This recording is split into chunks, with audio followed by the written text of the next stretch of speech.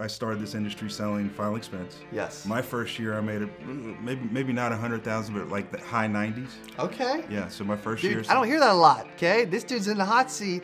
Made literally ninety something thousand dollars his first year as a final expense insurance agent. Most don't do that. Kudos to you. Well, I, I enjoy talking with people. I enjoy making friends. I enjoy. I just learned a lot of cool stuff from people along the way. Like I learned like whenever, and I still do it to this day. So whenever I see a client,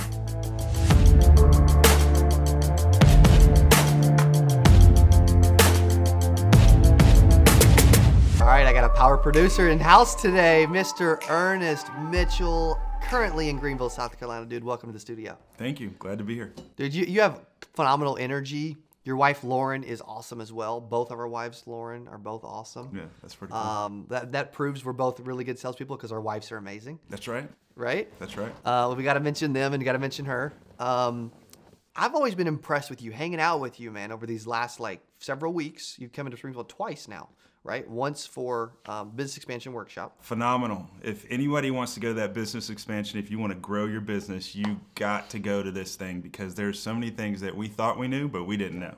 Thanks, and man. I'm from accounting to taxing, taxes to lawyers. Just it's just a phenomenal event. Thanks, buddy. Yeah, it's a lot of stuff that, that you just don't know. Like a lot of insurance agents are business owners, even though they don't even realize it. They're a business owner. You know, talk about that for a second because you're you're um, you're a business owner, but there's things that like you don't know along the way, right? And so, what can you like help a new agent with if you look back and say, "Man, I wish I'd have known some of these things as I was like running a business." I think um, transitioning from being a 1099 to getting incorporated, that's a big deal. You know, Yep. getting it's a, it's a hassle, but you're you're double taxing yourself. And I think also when you get into the point of you're making good money. I was talking to you. I, I started this industry selling final expense. Yes. My first year, I made it maybe maybe not a hundred thousand, but like the high nineties. Okay. Yeah. So my first Dude, year. I don't hear that a lot. Okay, this dude's in the hot seat. Made literally ninety something thousand dollars his first year as a final expense insurance agent. Most don't do that. Kudos to you. Well, I, I enjoy talking with people. I enjoy making friends. I enjoy. I just learned a lot of cool stuff from people along the way. Like I learned like whenever, and I still do it to this day. So whenever I see a client, I always make sure I always give them a hug. If it's a woman, you know, I give There them a go. good, good, nice handshake. If it's a man, Yeah. Yep. But um, just just taking the time to show them that I care, while that, while I'm also helping them and trying to add value. So important. Mm-hmm. I love that. Um, okay, so so so first year, ninety something thousand dollars final expense agent. Mm-hmm. Um, I know you're you you pivoted. How Mm-hmm. how long have you been in the industry? I've been independent in the industry for about ten years. Okay. Yeah. And then you pivoted to Medicare about six years ago or so. That's right. Um, why, why the change, right? Final expense, Medicare now. Mm-hmm. We're, we were talking about this off camera, so yeah. um, I, I, I was looking at how many applications I wrote with this one carrier. It was Foresters, and I had 431 clients, and my um, renewals were like $1,600 a month. And I had talked to someone that was in Medicare, and they were telling me what my renewals would have been if they were Medicare. If you'd have wrote all 431 or whatever. Yeah, if I just been focused on that, and, Yeah, and, yeah. and you know, when we made that pivot, it, it enabled us to do some cool things down the road. So we actually were able to. I was actually able to take my family to Puerto Rico for six months That's awesome. and just enjoy the experience of living on the water and living on the beach. How And cool it- is that? It was cool. It was cool. yeah. I would love to eventually own a home down there or something, man. That's It's cheap. awesome. It's. I mean, you can get some good. I mean, not everything's cheap, but you can get some good property down there. That's for sure. crazy. Yeah. Okay. Huh. Okay. So so so, you- so th- that allowed some extra freedom. Yeah. Mm-hmm. Allowed you to create some residual income, right? Find some um, additional opportunities to kind of grow something. Sure. um, and then really now you're you're really trying to help others have the success that you've had. Yeah. So you know, my bills are covered. So Yeah. I, uh, me and my wife, we work together. We're a husband and wife team, just like you guys, Power which is crazy. couple, yeah, that's crazy, man. right? Um, You are cool, by the way. But it's cool because you know I have young kids. So my wife, she primarily works from nine to two. Um, we ha- um, we just recently invested in an office downtown in Greenville, um, in in our Simpsonville area, Congrats. and um, it also enables my wife to be able to have the freedom to hand, um, be mom, CEO mom from two on. You know, both my kids are doing two activities a week. That's you know, Okay. so that's four activities a week. So we're we're a busy family, Yes. um, and uh, you know we're, we're we're also able to grow. You know, Yeah, yeah. um, we were going to get an office last year, but the pandemic hit. So I feel like Mm. just like a lot of people, I kind of took my foot off the gas a little bit. Yep. And the you know having residual incomes can be a gift and a curse For sure. because you know that you have that money coming in, but you also have the ability to sit back and say, hey, you know what, maybe I don't want to get the corona or something, you know? Yeah, yeah, yeah. So- for sure. Good for you, man. Um, well, okay, so let's let's fast forward now. Like like what what what are you like if when you're looking for an agent to help? Mm-hmm. What are you looking for? Well, uh, I'll, I'll help anybody that, that's willing to put in the work. Um, I think you have to want to, you have to have a why. Yep. You have to either want to be able to have a lifestyle, Yes. want to be able to provide for your family. There has to be something. Um, me and Lauren are born teachers. We love teaching people. We, if you look at any of our videos on YouTube, you can see that we don't have a lot, but we're getting more. We're trying to stay consistent, like you, like. You, yeah, you talked about. But um, we we understand Medicare, so we understand yeah. you know no matter what that client's going through, whether they are having prescription problems, they're looking for durable medical equipment, they are um, aging into Medicare, which is a which is a great way to earn a client for life, a person that's turning Yes. 65. Yes. We love to take the time to sit there and explain the process to them. They can ask as many questions as they want. That's awesome. We will sit there on the phone with them. Um, we've done a lot of Zoom calls this year. We want them to be super comfortable. A lot of times we call people Miss Betty or Miss Miss right. Miss Judy. You That's know, we just right. it's that Southern hospitality thing. But we um, um, and we, we like to teach people that that to that same process to duplicate that. Yes. So- Yes, that's cool, man. I love that. Um, what have you? Okay, so I want to. You're you're an athlete, Oh yeah. uh, still an athlete too. Uh, we haven't got you on the tennis bit. court, but you would destroy me, so I shouldn't probably, right? But I heard about pickleball, so I brought my shoes. So I'm supposed to be Did playing. you? Yeah, yeah. Your dad told me. So. Oh, yeah, good so- man. Yeah, I love some pickleball. Um, so I've always found that athletes, ex-athletes, either way, are more successful business owners, entrepreneurs, and salespeople. Have you noticed the same thing? it, I mean, a lot of athletes are in my circle. So Yeah, the yeah. one thing about being an athlete is it does teach you how to just focus on the target. Yes. Um, also, playing tennis, I it was kind of it was an advantage for me because it enabled me as tennis players. We weren't able, we didn't really rely on anybody. So when we're out in Mm. the field, it was me and that client, and I had to find a solution in order to get a client. You can't, you know, you can have some charm and you can Yep. do some good small talk, but if you can't solve their problem, there's a reason that they set the appointment with you. Yes. You're not going to get that client. Yes. So. tennis players make the best insurance agents. There's our title. Uh, That's that's arguable, but I don't know. I- um, well, you've been really successful. but you're a so- basketball player too, so we, and we had talked about shoot, Yeah. seeing who could uh, still um, get the shots up a little bit. Yeah, yeah, I don't yeah. know. I don't know. we may have to get on the court at some point. We might. I don't Did- know. did you played. I well, I come from about yes, I played. My brother Yeah. played in, in college, but Okay. technically he's never beaten me.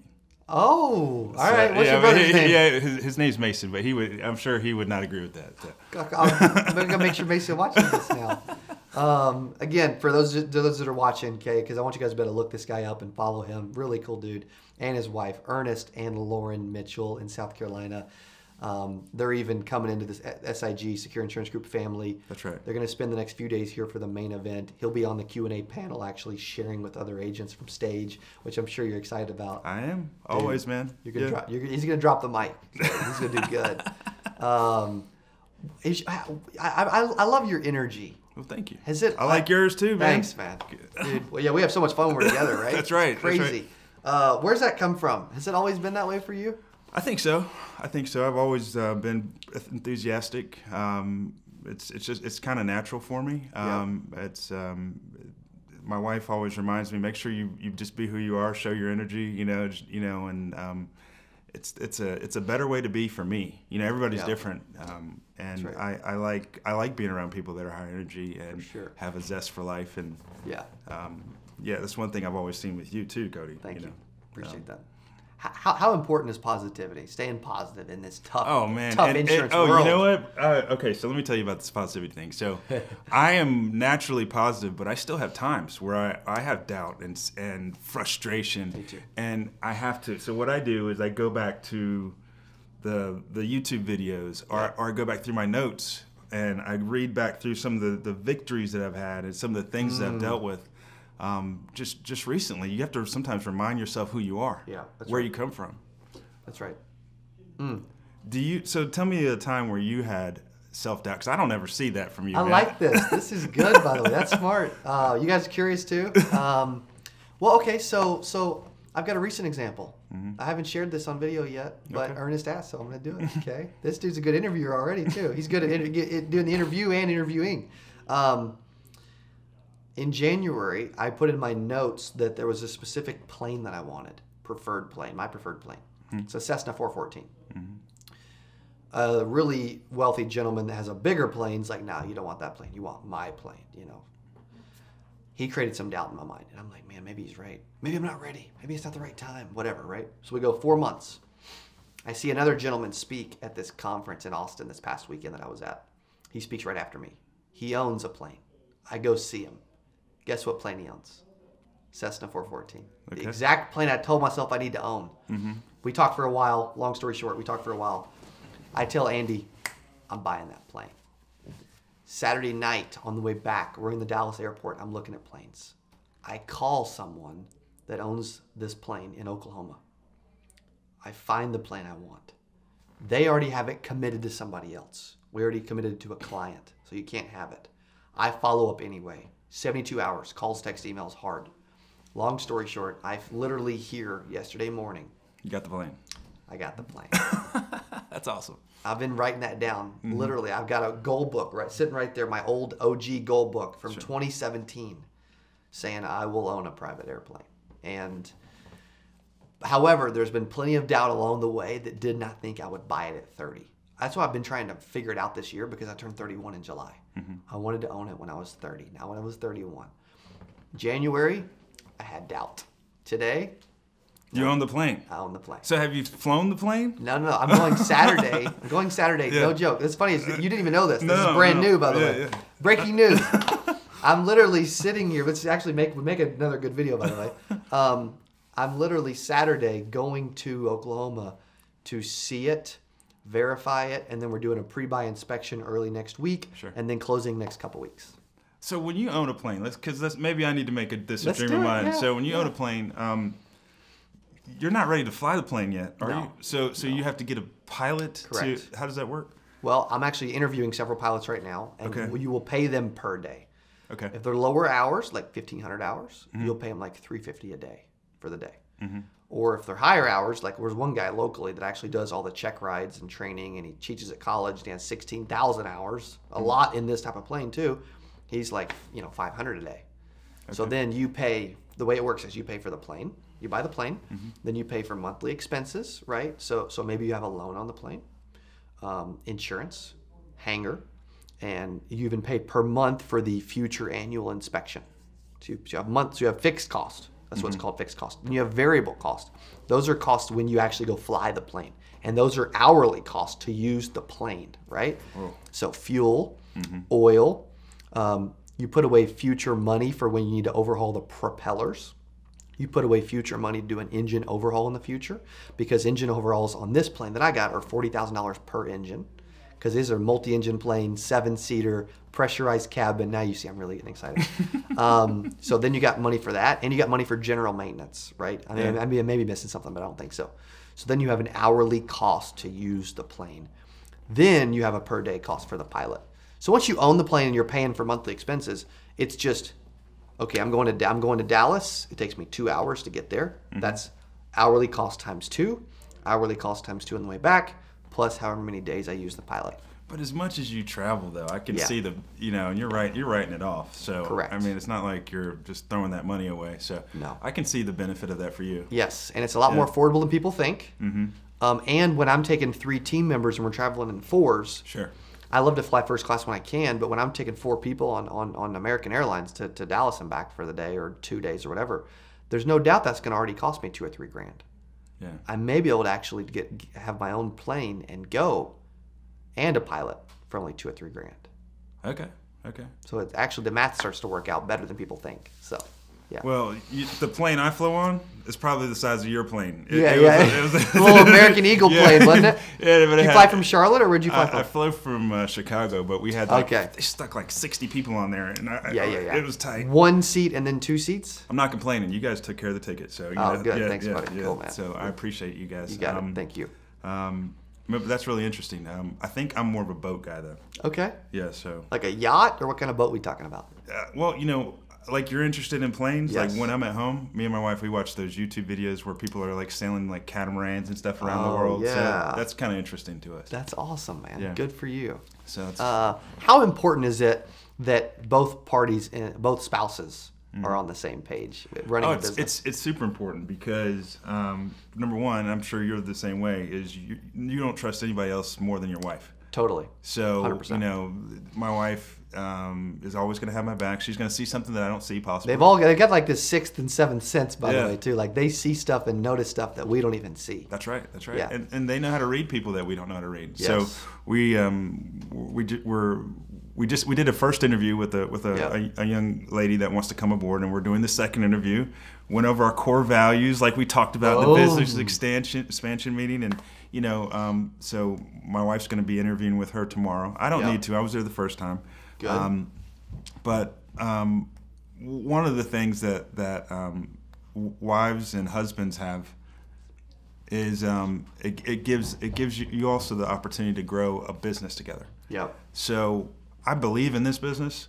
So my wife has had opportunities to take other jobs, but it, I'm not letting them pay her for what She's impressive too, she- man. She's Yes. more valuable to our Yes. business than she is for other Exactly. other people. So Tons. That's so funny you mentioned that because so many people are like, dude, I, your your wife's. Everybody's wanting to hire my wife all the time, and I'm like, she ain't, she ain't, you know, she's working. We're working together. That's right. You know. That's right. And so that's that's really smart, by the way. Um, also you take vacations together. yeah, exactly. So, so, exactly. so like if we want to like uh, take a couple months off and let this the new person that we're hiring, I don't want to say Yeah. her name yet because I don't know if I'm hiring yet, but um, Okay. um, man the shop, we go, Yeah, we go, we don't think about it, and That's um, right. that's the beauty of um, owning your own business. and everybody needs to get to that point where they're not they're not a slave to their own company. You know, Tony Robbins had a good statement about this. Okay. He goes, "I don't care how much you get paid. If you have to work, if you have to physically work, that's a job." Yes. But if you can create your business to where it can be managed and worked by other people, then that's a business. That's good. and that's what I've always wanted. I want a business. Most people say that most or a lot of people are saying that, that if your if your business is a feels like a prison, mm-hmm. you're doing it wrong. Yeah. And there's a lot of times where, Yeah. For me, previously, I remember when it was. You know. Well, you know, there, we were just talking about that in the office of the other day. So we, we had we had to step it up. So we ordered a bunch of uh, like uh, there's this you know different things to put around the office with some of our favorite Cool, man. sayings. Yeah, yeah, You yeah. know, just to make it a little bit more. Did you see the core values in the back, by the way? I think I did when I first came Yeah, here. Yeah, yeah, yeah, yeah, sure. Yeah. And that's and stuff like that. Yeah, That's very important. And it was really cool when we got to interviews because we've never done this before. So we're interviewing someone, we're going over our core values. They're seeing that we have standards. They're saying they're saying, well, this is no one's ever done that before. Oh, Hmm. it's separating ourselves from these other businesses. They're just like, okay, So you can already tell. Oh, I can tell. Yeah, and and you know, core values. Wow, these people. Okay, all right. That's Let me, let me sit up a little bit more straight. Let me, yeah, okay. Let's this this, is doable. This Ernest, Yeah. dude, this Lauren cat, they, they, they got their stuff figured out, you know? well, we, we try. cool. You know. you- Yeah. Yeah. We- we- We're all evolving, That's you right. know? Yeah. Uh, so I want to give you a wristband, okay? So we just got these in today. Okay. No, ja- no, no lie, okay? 8% and then accept responsibility, okay? Which I just put it on. Mm. Okay. So I Uh, give yeah, I got one, mine too. Yeah. Okay. They literally just hot off the press, sort of. They literally the box just came in like an hour ago, so I'm just passing them out. So If the, something doesn't work, it's my fault. there you go. That's right. Okay, talk about that because how freaking important is that concept? Super important. I, I've heard it before. You know, a lot of these concepts that even you bring up, we've all heard before. Yes. And but you can forget them. Yes. And and Quickly. that, that's why it's good to have a journal sometimes. yeah, yeah, yeah. I need to get you a CA journal, by the way. We got some new CA goals journals, by Nice. the way, too. Yeah. Um, Um, I was listening to Inky talk to somebody. Uh, I was working out and I was listening to him, and they were just talking about consistency Yes. and doing what you. And then I was also listening to Ed Mylett. I'm, I'm, I'm I try to listen as good, much as I could. And and this is something I haven't done is Yeah. where he breaks his days down to three days. Have you heard that? No. So he does. So so he tries to do three days in one. So I think he said he does his first day is from six to twelve, then twelve to six, then six to twelve. Okay. I don't know. I don't know. But but Sleeping six less than six hours. I, I would be really cranky the first part, something like that. the first day of the three. I don't know, but um, consistency. That that's Yeah. that's something that I think we we all struggle with. Like, and, but if you can break it down, and um, for me, break it down to like hour, take Yep. hour, do some push-ups, take a break, right. and then you know another hour, stuff like that. Yeah. That, that helps. I want to ask a question because I think a lot of people will relate to this, and we've both been through it. When you get in a slump, mm. or you're complacent, or you're not freaking pushing like you know you should, mm-hmm. or you're just content, you got a good residual income, like we talk about with Medicare, Sure, and sure, you're just sure. like, you know what, I don't have to do anything. How do you get? How did you get out of it? Mm-hmm. Because I've been in it too. Most people never think that, but it happens to everybody, right? How mm-hmm. do you get out of it? Gotta do something. So I, Yeah. I was it's funny. I was just talking to someone about this the other day. Okay. So I was explaining that I was in a slump.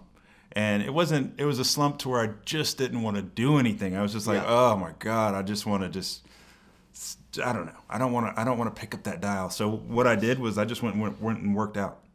Went to the gym, oh. put one foot in front of the other and just did that because I knew I could do that. I knew that would take my mind off of it. Then it made it Yeah. easier for me to go back and get on the phones again and and do what I needed to That's do. So um, I think that it's um, not staying stagnant. Yes. Just you got to do something. Yes. So if you don't want to do that, maybe you don't need to do it right now. yeah, yeah, yeah. But do something. and, and push yourself Yeah. because when I was pushing, because when I was pushing myself, I got my juices going again, and it made it a lot easier. Yeah, to get we back. all have that a little bit of a competitive desire that we need to ignite every now and then. You know, uh, my wife and I talk about this a lot. I don't. We don't. Other than going to church and spending a little bit of time with family, um, we don't love weekends and Sundays Really? because I get so freaking bored. I get so bored, and then I feel like I'm being lazy, or I'm, you know what I mean. Like it's tough for me to just like. I can sit for like a couple hours and watch some TV or a show or Billions or something, you know. um, but to sit for like whole day is like really tough. So we try to find stuff to do to keep us busy. You know, so I'm going to say something. So how Right. this is the craziest thing. All the, a lot of the successful guys that I know watch Billions. I've watched a couple episodes, but I think I need to watch a lot more now. You do. because you guys are all on that show. Dude, it's good. it's good. Everybody wants to be the ethical version of Bobby Axelrod. Okay. You know. Okay. um, it's it just it gets my brain moving about business and thinking and like i mean it's kind of crazy. I like a lot of like uh, cartel shows too like narcos. Like i love these kind of shows because i'm just like okay how could i do what they're doing ethically not literally selling drugs right? Not literally um, doing whatever whatever the terminology is for the stock market right? But i just like seeing people operate in in in in, in a business setting and I'm watching and learning. Like, okay, how did he handle that? Ooh, would I have thought about asking that question there? Like that kind of stuff. Like, Sure. like I love watching speakers on stage. Sure. Because, and- or even even at church. Yeah. Like literally, a uh, uh, we had a, a guest pastor come in a week and a half ago at church, two Sundays ago, and he was really good at telling stories. Mm. And I'm like, I don't even know if he prepped any content, but he, he but he kept me engaged better than any pastor has in a long time. And I didn't even know who he was. And I also, like a lot of people, I'm sitting there like, yeah, this is gonna be boring. I'm not like that's not the main pastor. Oh, here we go. You know what I mean? Yeah. Unfortunately, but he kept my attention. Check this out. So we went to church this last Sunday. Okay. And guess what the message was? What's that? It was your message, and it was don't quit. This is oh. and this was one of the things that you said, and this was this is also something that I would say to new new agents out there.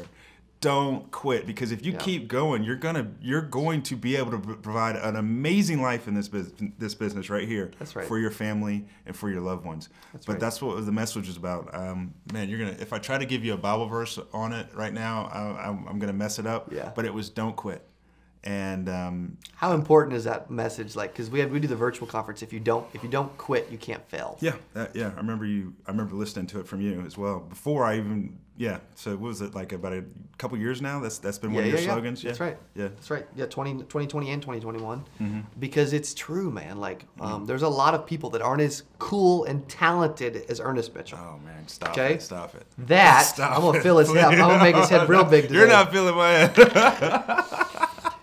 but um, But they quit too soon. Yeah, well, you know, if you don't quit, you're gonna get smarter. You're gonna, and and you know, another thing is if you make a messed up appointment, guess what you do? You you analyze your appointment. So when you go back, you can, um, you know, say, okay, I'll, I'll do this better next time. That's right. On the next appointment. That's right. Um, but if you don't quit, you stay in it. You're gonna constantly start separating and catching some of these other guys that are killing it. Yes. And that's yeah, man. Boom. Yeah, Mike. How do they? How do they? How do they? Uh, how do they follow you? Like if they're like, dude, I like this Ernest dude. He's a cool guy, and he is. um, they can they can look you up on Facebook. Yeah, so Facebook. Uh, I do have an Instagram. I'm you know, I'm not.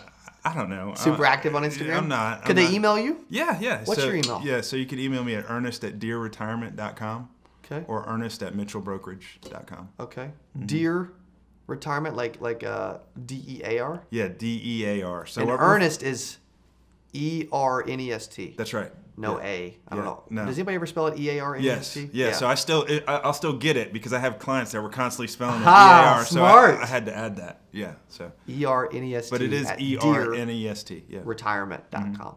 Mm-hmm. Boom. Okay. Uh, last, last, uh, what, what, is there anything else you want to leave us with before we end the interview today? How good has this guy been, by the way? This has been good, man. You're better than you know on video and Well, I don't feel. I, don't, I feel like I'm just trying to be myself. Shut up. So, but you know, it's it's. He's obviously very humble too. you're high energy, man, and and, Thanks, and um, but but you, you know, you're the type of person that brings out the best in people, and Thank that, you. that's really cool. Appreciate that. Um, how would I end this? Um, you know, if if you want to be good in this business, you have to surround yourself with other people that are good. Mm. You really do. Um, it's um, So go surround yourself with this cat. Okay? Seriously. You really do, and and it, it takes a team. Yeah. You know, um, and and that's why you know we're, we decided to go ahead and partner up with Secure Nice, and your dad. That's awesome. Um, and um, you know, we're just excited about what's what's happening in the future. So dude a lot of lot of bright things going on our our our um, families are going to be you know working together for many years and it's going to be a ton of fun um, i've loved getting to sit we literally sat that first night at the bew and and just Talked. chopped it up. Yeah, we just chopped it up and just talked and talked and and, drank talked. Caymus, and i loved it That is a wine that is an expensive wine that I'm only going to drink if you pay for it. okay I, need, I need to get you a bottle tonight then okay Yeah, it was awesome No, man. it was awesome, bro. reach out to this dude, okay? Follow him. Tell him how amazing he did today, okay? Because he hasn't done a lot of this, but I'm telling you, he's a special dude, and so are you. Hey, if you enjoyed this, I got another one you're gonna love. It's right there. Click on it. See you in there. Quote, I quote probably close to $2 million in trucking insurance every month. Yeah. Close to two million trucking a month. Just you're trucking. quoting. Yeah. Now, granted, that's extremely high for anybody who knows trucking. Which! Don't start in trucking. Get your feet wet with the personal lines, and then when you're ready for trucking, you